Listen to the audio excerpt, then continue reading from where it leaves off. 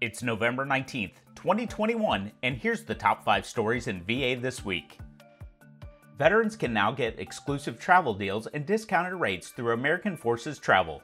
All veterans with a discharge status of honorable or general under honorable conditions are eligible to shop for a wide selection of discounted rates on hotels, airfare, rental cars, vacation packages, cruises, and much more. American Forces Travel is the Department of Defense's official morale, welfare, and recreation platform offering bookings for leisure travel. If you received a program of comprehensive assistance for family caregivers decision prior to September 28, 2021, VA will be mailing a letter notifying you of your board appeal rights.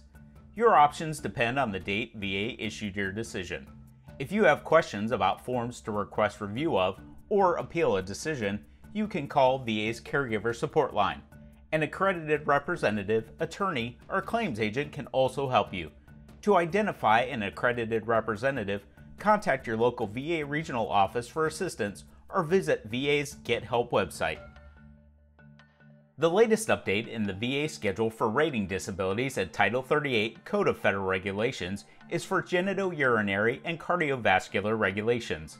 The newest regulations took effect November 14th. The changes were made to ensure that these portions of the rating schedule contain current medical terminology and provide detailed and updated criteria for the evaluations related to genitourinary and cardiovascular disabilities. Learn more at the Schedule for Rating Disabilities website. The Wellness Wednesday Financial Education Series returned November 17th to talk about taxes. The series focuses on a different aspect of financial literacy on the third Wednesday of each month. Participants also have access to more than 100 short educational articles and interactive tools that include financial self assessment, budgeting, and student loan assistance and counseling. The next Wellness Wednesday is December 15th, covering transitioning successfully into retirement. Learn more at their website. November 18th was the Great American Smokeout, but it's not too late to quit smoking.